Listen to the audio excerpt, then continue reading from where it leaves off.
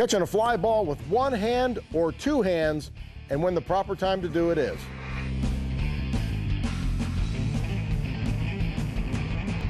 Catching a ball with one hand. Anytime you're on the run, your player should catch the ball with one hand. If he's running, you got him running, he's running, he's running, he's running. On the last step, before he can catch that ball, he puts out that last step, and that's when the glove comes out. Okay? What we don't want to see is your guy going across the outfield and he's running, he's got the glove out, and he's not covering the ground he should be covering. Catching with two hands is probably oversold in baseball. Uh, the time that we want to catch with two hands is when we're planted underneath the ball and when we're going to make a throw to a base, we go ahead and get underneath that ball. We'll have two hands in position. We'll step into that ball and make the throw.